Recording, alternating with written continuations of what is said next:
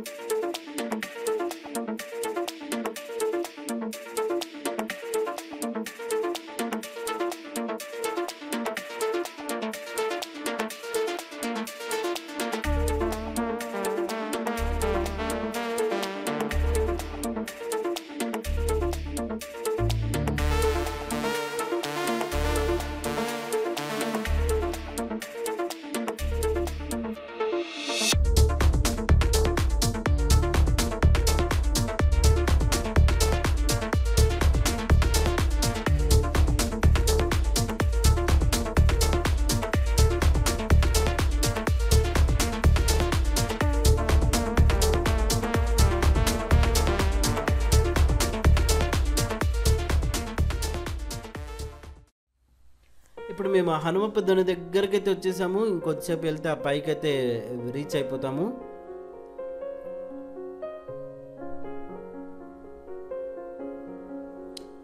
చూడండి పూజారి గారు అప్పుడే ఆల్రెడీ ఆ ప్లేస్లో అయితే ఉన్నారు. నేను ఇంకొక రెండు మెట్లు ఎక్కేస్తే ఆ ధ్వని దగ్గరికి అయితే చేరుకుంటాను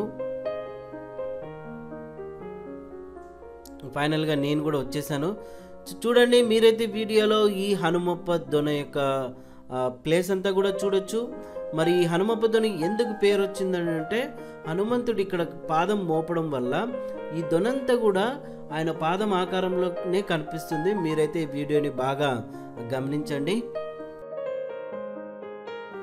వా వండర్ఫుల్. అయితే ఇక్కడ చూడండి కొండ పై నుంచి నేనైతే వీడియో తీశాను. ఈ లొకేషన్ అంతా కూడా ఎంత బాగా కనిపించింది చూడండి మీరైతే వీడియోలో. ఈ హనుమప్ప పైకైతే మేము ఎలా వచ్చామనేది ఈ వీడియోలో మీకైతే చూపించడం జరిగింది. మరి ఈ హనుమప్ప దొన చరిత్ర గురించి అయితే మనం పూజారి గారి ద్వారా అయితే తెలుసుకుందాము. మరి నెక్స్ట్ వీడియోనైతే మీరు తప్పకుండా అయితే చూడండి. ప్రతి ఒక్క వీడియోనైతే మీరు లైక్ చేయండి సబ్స్క్రైబ్ చేయండి షేర్ చేయండి. Thank you.